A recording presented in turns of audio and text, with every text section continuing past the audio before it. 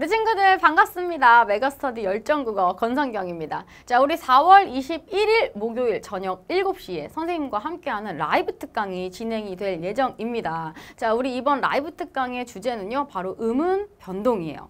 음은 변동이 문법이다 보니까 우리 친구들이 굉장히 어려워하는 그런 파트고 실제로 시험에서도 되게 어렵게 출제가 됩니다. 교과서 공부를 꼼꼼하게 했음에도 불구하고 교과서 밖의 예문에서 또 출제되지는 않을지 불안해하는 그런 친구들도 많이 있을 거라고 생각을 해요. 자, 그래서 이번 라이브 특강에서는요. 음은 변동 관련해서 우리 친구들이 정말 많이 틀렸던 자, 그러한 부분들을 집중적으로 점검을 하고 그리고 시험에 정말 많이 나왔던 빈출 예문들을 중심으로 또 확인을 해보는 총정리 수업을 같이 진행을 해보도록 하겠습니다. 자, 이번 중간고사에 음운 변동이 들어가면 이건 1등급의 키를 쥐고 있는 그런 파트가 될 겁니다. 자, 그래서 선생님과 함께 수업을 통해서 열심히 정리해서 이번에 중간고사 1등급을 꼭 성취를 했으면 좋겠습니다. 자, 4월 21일 목요일 저녁 7시입니다. 우리 친구들 많은 참여 부탁드립니다. 부탁드릴게요.